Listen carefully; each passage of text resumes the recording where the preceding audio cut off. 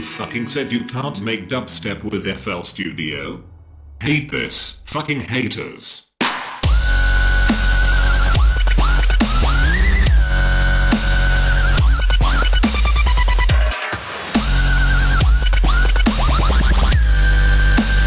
Fucking haters.